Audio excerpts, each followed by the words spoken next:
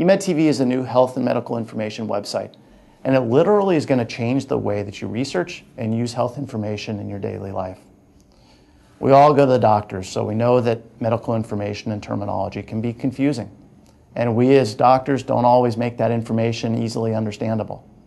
In fact, a lot of times people leave the doctor's office having more questions than answers. But eMedTV is different.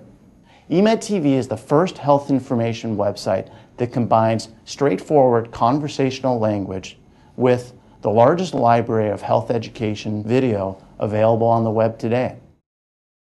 So when you're looking for health information, start with emedtv.com and you'll see why we say it's health information brought to life. We have a sample video clip. This video clip talks about diabetes and its effect on the heart. It's one of several thousand video clips that will become available on emedtv.com when we officially launch in October of this year. One of the biggest problems for people with diabetes is trouble with their heart and blood vessels.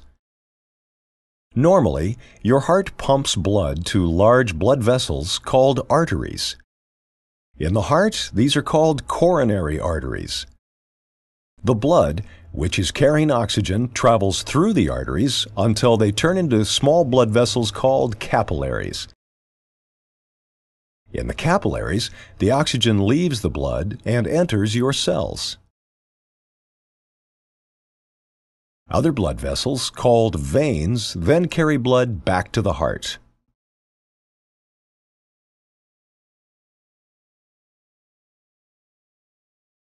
But over time, diabetes can damage the inside of blood vessels, including the arteries that supply blood and oxygen to the brain and heart. This damage allows a waxy, fatty substance called plaque to build up.